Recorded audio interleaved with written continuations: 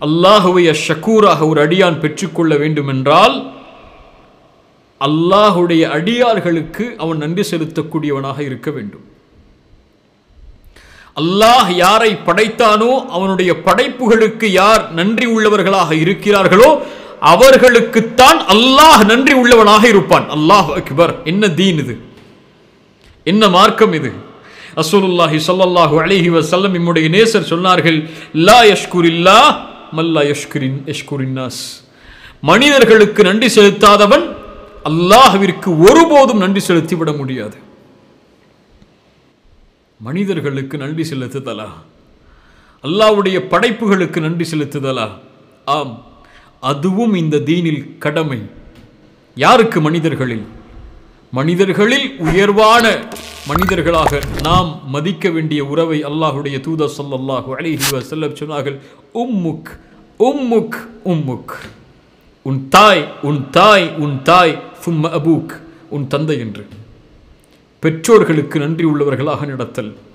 அல்லாஹ் இந்த மனித இந்த மனித மனித இனத்தில் பெற்றோர்களுக்கு ஒரு மனித நன்றி உள்ளவனாக இருப்பதை ரப்பு கடமையாக்குகிறான். அவர்களுடைய பெற்றோரிடத்திலே நல்ல முறையில் நடந்து கொள்ள வேண்டும் என்று அல்லாஹ் அவர்களுக்கு அறிவுரை கூறுகிறான். ஹமலத்துஹு உம்முஹு வஹ்னன் அலா வஹ்னின் وفصاله في عامين சிரமத்துக்கு சிரமத்தின் மேல் சிரமத்தோடு அந்த தாய் அவளை சுமந்தாள். இன்னொரு வசனத்தில் குர்ஹன் அலா குர்ஹின் கஷ்டத்தோடு கஷ்டத்திற்கு மேல் கஷ்டப்பட்டு சுமந்தாள் வெளியாக்கினாள். ஒரு தாய் பத்து மாதம் ஒரு குழந்தையை சுமப்பது என்பது சாதாரண காரியம் அல்ல இப்படி உமர் ரலியல்லாஹு அன்ஹு அவர்களிடத்திலே ஒரு மனிதர் ஹஜ்ஜுடைய நேரத்தில் வந்தார். என் தாயை நான் ஹஜ்ஜு முழுவதும் என்னுடைய முதுகில் சுமந்து நான் ஹஜ்ஜு செய்தேன். நான் என் தாய்க்கு நன்றி செலுத்தியவனாக ஆகி விடுவேனா இப்னு உமர்? இப்னு உமர் சொன்னார்கள் உன் தாய் உன்னை பத்து மாதம் சுமந்து அந்த கடைசி நேரத்தில் வெளியாக்கிய பொழுது அவர் அவள் அவள் சிரமத்தால் கதறிய அந்த கதறலுக்கு கூட நீ செய்த காரியம் நன்றி செலுத்தி முடிக்க முடியாது. அல்லாஹ் சொல்கிறான் அனிஷ்குருலி உன் தாய் தந்தையை கொடுத்தவைக்கு எனக்கு நன்றி செலுத்து. வலிவாலிதைக்க உன் பெற்றோர்களுக்கும் நன்றி செலுத்து. உன் பெற்றோர்களுக்கு நன்றி செலுத்து. எனக்கு நன்றி செலுத்து. என்னிடத்திலேயே நீ திருப்பிக் கொண்டு வரப்படுவாய் என்று அல்லாஹுடைய அல்லாஹ் ரப்புல் ஆலமீன் சொல்கிறான்.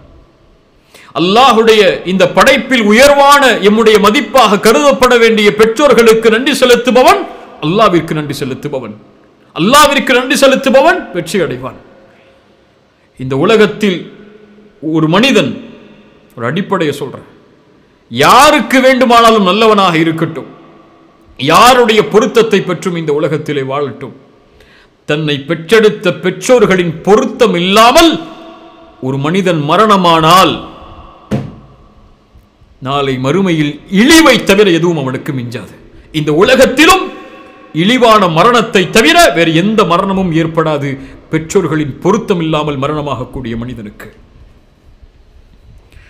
அல்லாஹுடைய தூத ஸல்லல்லாஹு அலைஹி வசல்லம் ஒரு நிகழ்வை எமக்கு சொன்னார்கள். நாம் எல்லாம் அறிந்ததுதான். ஒரு மூன்று மனிதர்கள் குகையில் தஞ்சமடைகிறார்கள் அதில் ஒரு மனிதன் ஒவ்வொருவரும் தான் செய்த நல்ல காரியத்தை அல்லாவிடத்திலே கூறி இந்த சிரமத்திலிருந்து வெளியேறுவோம் என்று நல்ல காரியங்களை எடுத்து கூறுகிறார்கள். அதில் ஒரு மனிதர் சொன்னார் யா அல்லாஹ் என் பெற்றோர்கள் வயதானவர்கள்.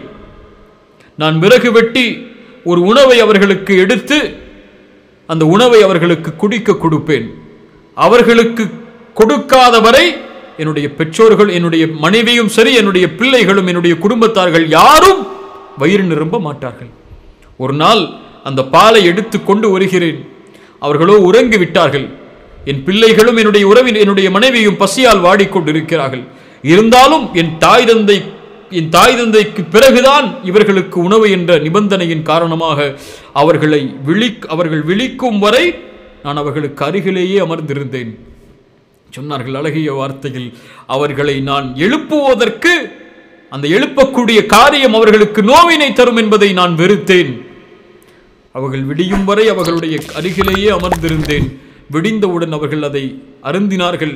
அதற்கு பிறகு என்னுடைய மனைவிக்கும் பிள்ளைகளுக்கும் கொடுத்தேன் இறைவா இதை நான் உன் பொருத்தத்திற்காக செய்திருந்தால் இந்த சிரமத்திலிருந்து எனக்கு வெளியேறு என்று கூறிய அடுத்த மாத்திர மாத்திரத்திலேயே அந்த குகையுடைய கதவு திறக்கிறது என்றால் ரப்பு கேட்கிறான் அதை அங்கீகரிக்கிறான்.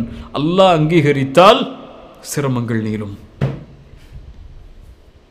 அனிஷ்குருலி வலி வாலிதைக்க. வயதான அந்த நேரத்தில் ரப்பி அஷ்குர நிஅமத்தக அன்அம்த அலைய யா அல்லாஹ் எனக்கு நீ புரிந்த இந்த அருளுக்காக உனக்கு நன்றி செலுத்தக்கூடிய வாய்ப்பை எனக்கு கொடு என்று அல்லாஹ் ரப்புல் ஆலமின் துஆ செய்யுமாறு ஏவுகிறான் பெற்றோர்களுடைய சிறப்பை கொடுத்ததற்கு பிறகு கூறியதற்கு பிறகு அடிப்படை பெற்றோர்களுக்கு நன்றி செலுத்த நீ என்னிடத்திலே கேள் இத்தனை பெரிய பில் மாறுபட்டு நடப்பவர்கள் நோவினை செய்தவர்கள் அல்லாஹு அக்பர். அல்லாஹு அக்பர். அதுபோல் அல்லாஹுடைய படைப்பில் எல்லோருக்கும் ரசூலுல்லாஹி சல்லாஹூ அலிஹி வசல்லம் சொன்னார்கள் யார் ஒரு முக்மினுடைய சிரமத்தை நீக்குவானோ அல்லாஹ் அவனுடைய சிரமத்தை நீக்குவான். யார் ஒரு முக்மினுடைய சிரமத்தை இந்த உலகத்திலே நீக்குவானோ அல்லாஹ் ரப்புல் ஆலமின் அவனுடைய சிரமத்தை மறுமையில் நீக்குவான். அவன் கடுமையாக அவனுக்கு இருக்கக்கூடிய சிரமத்தை யார் ஒருவன் எளிதாக்கி விடுகின்றானோ அல்லாஹ் மறுமையில் அவனுடைய காரியத்தை எளிதாக்குவான். யார் ஒரு முஸ்லிமின் குறையை இந்த உலகத்திலே மறைக்கிறானோ அல்லாஹ் ரப்புல் அவனுடைய குறையை உலகத்திலும் மறுமையிலும் மறைப்பான். எ- ஒரு சகோதரனின் உதவியில் ஒரு அடியான் இருக்கும் நிலையிலெல்லாம் அல்லாஹுடைய உதவியில் அவன் இருக்கிறான். அந்த ஹதீஸ் எல்லாம் எதை சொல்லுகிறது? ரசூலுல்லாஹி சொல்லல்லாஹு அலைஹி வஸல்லம் சொன்னார்கள் ஒரு மனிதன் நல்ல கவனிங்க இந்த ஹதீசன் ஒரு மனிதன் பாதையிலே நடந்து சென்று கொண்டிருந்தான். அங்கே ஒரு முள் இருந்தது. அதை அவன் நீக்கினான். அவன் செய்த இந்த காரியத்திற்காக ஃபஷக்கர் அல்லாஹு லஹு. அல்லாஹு அக்பர். அல்லாஹு அக்பர். அல்லாஹ் அவனுக்கு நன்றி செலுத்தினான். தான் அடியானுக்கு நோவினை தரக்கூடிய ஒரு பொருளை இன்னொரு அடியான் எடுத்து தூக்கி எறிந்ததற்காக அல்லாஹ் நன்றி செலுத்தினான். எப்படி நன்றி செலுத்தினான்?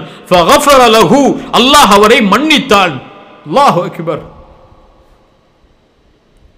நம்மெல்லாம் அறிந்ததுதான். ஒரு விபச்சாரம் செய்த ஒரு பெண் ஒரு நாய் நாய் சிரமத்தோடு இருந்த காரணத்திற்காக தாகத்திலே ஏங்கி மண்ணை அப்படியே நாவை கொண்டு தடவி கொண்டு இருக்கிறது தண்ணீர் அதில் கிடைக்கும் என்பதற்காக ஒரு நாயின் பசியை உணர்ந்த அந்த பெண் அந்த நாய்க்கு தண்ணீர் அரு- அருந்த ஏற்பாடு செய்தது செய்தமைக்காக அல்லாஹ் அந்த பெண்ணை மன்னித்து சொர்க்கத்திற்கு அனுப்பினான்.